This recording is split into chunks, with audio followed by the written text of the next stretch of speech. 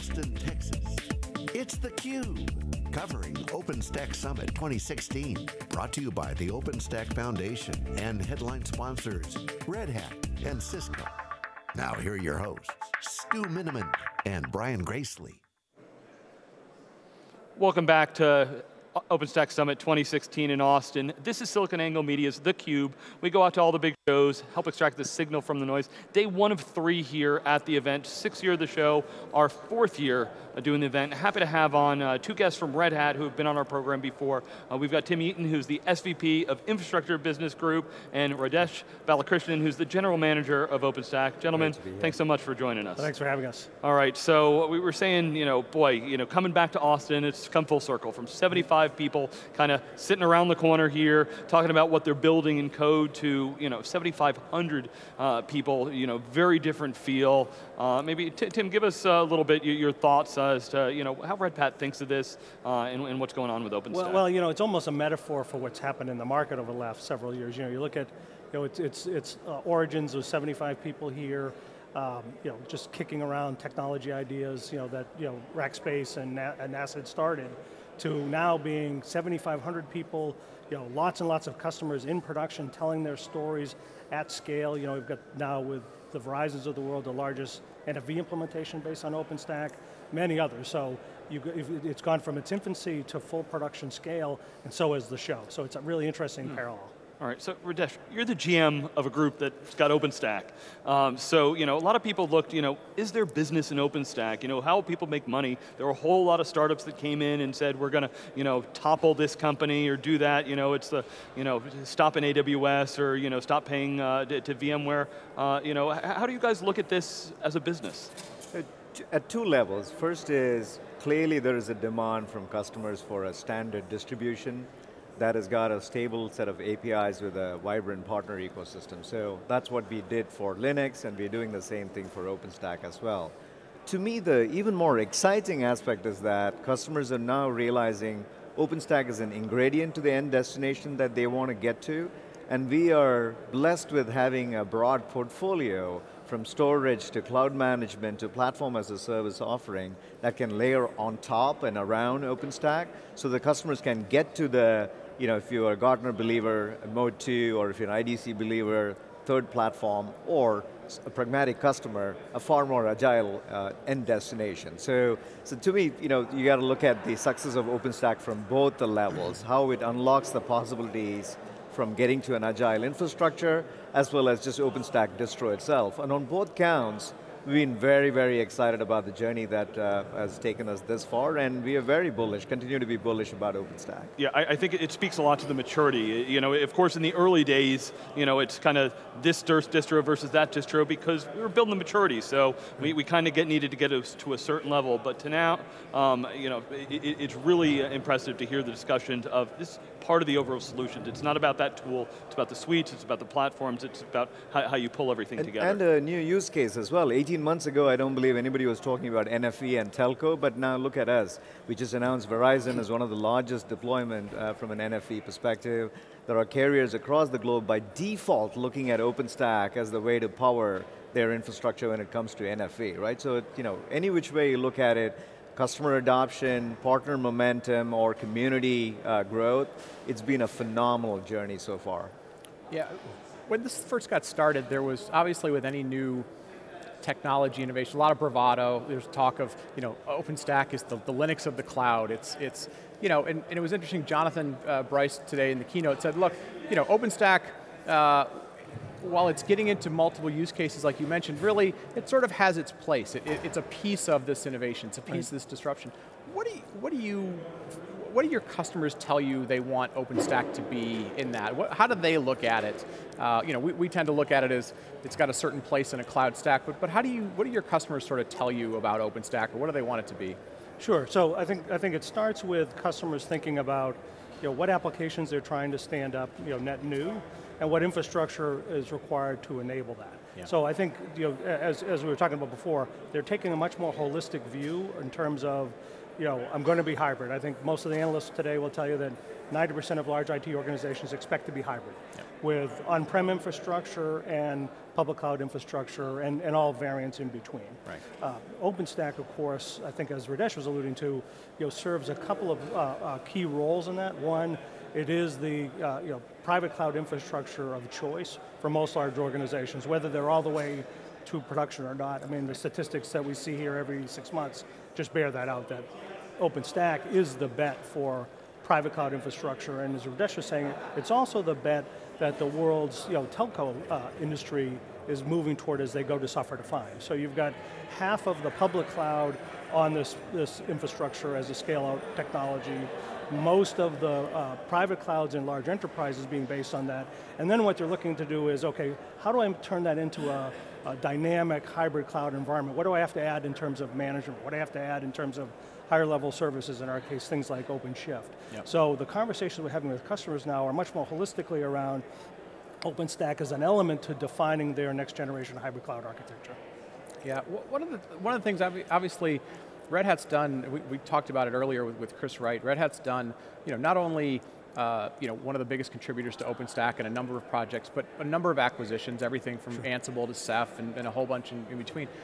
How much, beyond just the technology stack, how much does it help Red Hat to have always been an open source company? You know, we see a lot of other vendors who are trying to go, well, I'm going to adopt it, but they're struggling from a business model perspective. How much does that help you guys to go, I don't really have to think about any change, I'm just delivering technology and, and, and solutions? Well, I, I think it's, uh, you know, you almost can't uh, overstate its significance. So you think about just OpenStack and the evolution here in the last couple of years, you know, you know, Chris, of course, you know, epitomizes community development, but there are some things that are tough for communities to do, right? Yep. That they don't think about, you know, you know, fit and finish around installation and day two management. It's, just not, it's not part right. of the innovation cycle. Um, user experience, um, you know, upgradability and those sorts of things. So, you know, most of the communities are centered around innovation. You know, being an open source company from the get-go, we knew that there were going to be challenges in terms of you know, how one would engender life cycle into a platform that's delivering new innovation every six months and never looking back, yeah. right? And, and it, comes, it comes to you know, there's certainly been bravado about who does the most commits and all that kind of stuff, and that's not ever been interesting to us.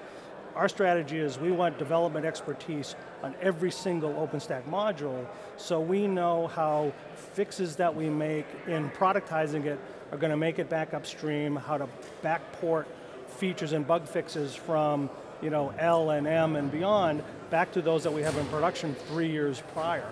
I think those are all things that come very naturally for us, and if you look at OpenStack as a community, there were some stumbles among those trying to productize OpenStack early on that I think we're all getting better at, but for us we had you know, 15 years of, of you know, learning on how to do that. Yeah, so Tim, I wonder if we could talk about a little bit more on the customers. We always come to these events and say, okay, how many of them are actually running into production? You know, how are they making their decisions? So, you know, there's general generally people say, oh, well, you know, Red Hat you know, has customers that are using Linux and they've got their support licenses, so natural progression to move over at OpenStack.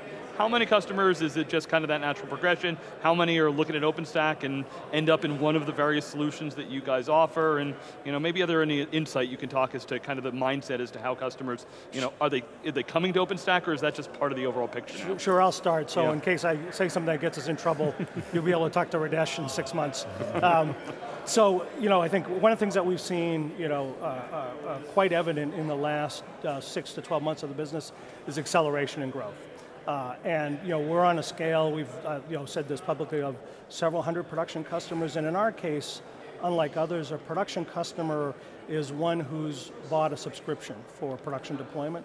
So, you know, we don't have uh, uh, you know, our services capabilities around OpenStack are very focused to successful production deployment.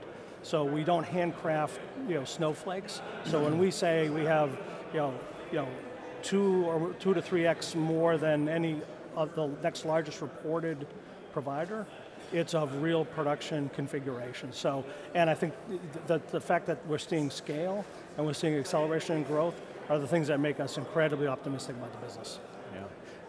to, just to add to that, mm right? So we're kind of seeing three entry points. One is the classical as expected. We've got RHEL, uh, you know, either in the physical or physical as well as virtual. We want to get to private cloud and public cloud. So that's an obvious journey. Another uh, intersect point is they are interested in hybrid cloud management and or you know, storage, software-defined storage solution or software-defined networking with our partner solutions. So that becomes a, you know, that's a fundamental retooling of the infrastructure itself. And a third and an emerging uh, driver or a, a, calling card that we've been uh, getting is around containers, right? So clearly there's a lot of excitement around it, and that's more from the application layer impacting decisions at the infrastructure layer as well. So. Mm uh, those tend to be a mix of, fair mix of existing customers as well as new customers. Yeah. Hopefully that gave you the flavor you were looking so, for. So Radhesh, I'm wondering if you can help us dig in one area. You talked about hybrid cloud. Yep. So one of the things, of course, for Red Hat is, you know, not only do you have your OpenStack solution, but you know, you guys are in Azure, you're in AWS, um, you know, so, you know, how do you guys position that? You know, you have customers that are spanning all of those environments. Um, you know, we tend to find customers have a multi-cloud view of things, and Red Hat plays into that nicely. So absolutely. I mean, for for the past uh, three, four years, our uh, value proposition to the customer has been open hybrid cloud. Open because of who we are, and hybrid cloud because we long rec recognize that taking either a private cloud camp or a public cloud camp is too kind of narrow-minded view of the world, right? We all know that there are workload-specific requirements, organizational-specific requirements that'll decide the choice in terms of whether you're going one way or other. What we've been focused on is actually making sure that our entire portfolio is geared towards enabling that hybrid experience. Let's take storage for example. You can run you know, Ceph on-prem or you can run it on a public cloud environment. Or you take cloud management as an area, CloudForms, which is our solution, which will help customers bridge let's say, legacy investments in VMware implementation all the way up to you know, newer public cloud implementation as well. So, so it's been a systematic focus on enabling at all levels of the layer the, uh, the, the, reality and the, the power of uh, hybrid cloud. That's been our focus. Tim, do you want to add to that? Yeah, so Stu, first of all, it's a great question. I think it's something that we've seen evolve over the last year. Uh, I would say a year ago when I would talk to customers, they were just thinking about what this would look like as you expanded it out to the public cloud. Today, what you hear is exactly what you said, which is most big customers I talk to, the public cloud of their hybrid strategy is going to be multi-cloud, for all the reasons that you'd expect. But in order to do that effectively, and you can build a, a hybrid cloud with workloads on public cloud in a couple of ways. One is very statically. So I make a choice to move a workload or build a workload on AWS, I use all the native AWS services. It's fairly static. Once it's there, it's not going anywhere because those services aren't replicated elsewhere. So what customers have been talking about more and more and more is what abstraction layers can we create for them that make it easier to have a more dynamic hybrid cloud with choice among the public cloud providers. So the first level of abstraction is RHEL guests themselves, right? You've got a consistent operating environment on each of those platforms, but its limitation is you've got to stay true to the native APIs and Java APIs and so forth. The next level of abstraction winds up becoming containerization itself because now you've got much more flexibility to make the applications themselves more fine-grained, share different components. But I think the, the most highest level of, of uh, uh, abstraction is OpenShift itself, managed by Cloud CloudForms, because now I can have a full-on dev and DevOps and deployment environment uh, where all the services are exposed by that platform. You don't necessarily need to use native services of any of those public clouds. And now I've got workloads that could be dynamically moved back on-prem or among those private clouds, depend, depending on what you want to define by policy. And in our particular case, the same management framework that enables that is also the one that can manage your traditional infrastructure. So we not only, it, it, it's, it's more than just hybrid cloud in our case, it's really hybrid IT, having the, the existing uh, uh, applications be relevant in the new fabric. Yeah. So, you know, as a general manager, you're, you're, you're running the business, but you've got to, you know, sort of always have your crystal ball in front of you. We heard in the keynote today, uh, you know, you have JPL as a customer. Uh, they're putting, you know, they're trying to figure out how to how to put, you know, life on Mars. You've got, you know, uh, Verizon as a customer who's trying to manage, you know, a billion new phones getting turned on every day. And then you had Gartner talking about, hey, we're going to have to help customers move their SAP and Oracle. How do you think about you know, those very distinct things. Do you, do you feel like over time we're going to have carrier grade OpenStack and man on the moon OpenStack and, and you know, enterprise apps OpenStack, or is this is it flexible enough that, that people can go, okay, I'm, I'm just betting on OpenStack and it'll work itself out? How do you think about that? So we're going to do everything within our power to make sure that the forking and application-specific variants of OpenStack doesn't happen. Yeah. Let's look at what we did in the last 18 months around telco NFV itself. There, were, there are other players in the market who took the approach of assembling a carrier-grade solution with uh, you know, a mix of proprietary as well as open uh, technologies. What we decided from day one was the best thing we can do is to make sure that we make OpenStack carrier grade rather than try to get to a carrier grade OpenStack, gotcha, right? gotcha. So, so hopefully that gives you the flavor for how we think about it. And that's not something that you know we have to struggle hard to do because our philosophy always has been up, upstream first, right? Mm -hmm. Anything that we do is upstream first. So there is no shadow code tree, there is no moats that we're going to build by having a specific workload, specific requirements. Now that said, there are going to be unique requirements for each of the use cases that we identify, prioritize, and drive upstream, as well as partner with industry-specific partners yeah. to make sure that we round out our solution, right? So okay. that's our game plan. So forward-looking, just like what we've done with telco, any new use cases, we're going to take exactly the same approach and make sure that we are not killing the golden goose, if you will. Gotcha, gotcha. So you know, build the best OpenStack possible, work with the community and partner where it makes sense to get into those areas that are sort of unique and, and, differentiated. Very good. And if, if, you think about them, I mean, there's certainly the NFV specific uh, elements that are going to be unique to the telco market, yeah. but a lot of where there's interest now coming, you know, is actually universally applicable. So a lot of the work hmm. around high availability, you know, predictability and, and, uh, and real time, you know, those have their applications beyond just the, the, the vertical that's you know, driving those requirements today. So yeah. We feel very confident that the model is going to hold well in an OpenStack context. Right. All right. So I always call this time of year kind of kind of the our open source, source tour. So uh, we were at the Open Compute Summit. We're here. By the time we get to the end of the spring tour, uh, we're, we're going to be at Red Hat Summit. Right. So uh, I want to give you guys each uh, a chance, kind of last word here. Uh, either so, something cool going at the show or something to look forward to uh, at, at, the Red Hat Summit. Tim, you want to start? So I'll start and I'll, I'll turn over to Radhesh. So I think, you know, because our, our Red Hat Summit you know, closely follows the OpenStack Summit.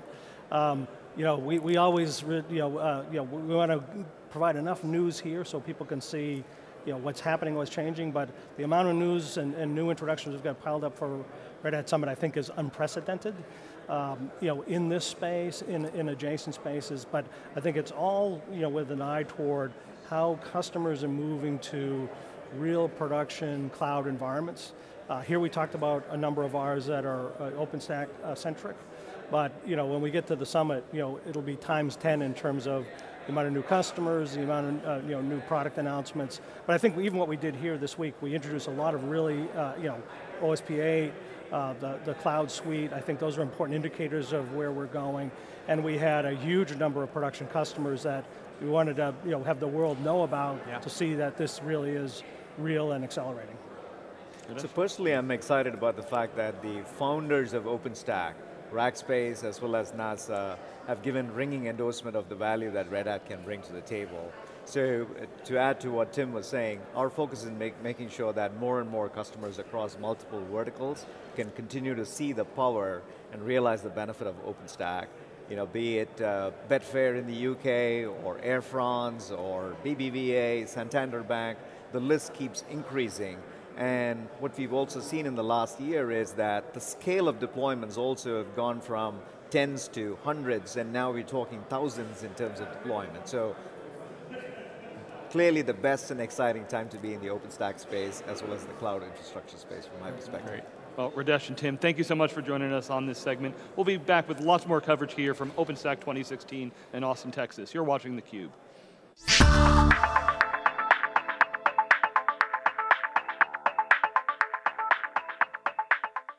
It's always fun to come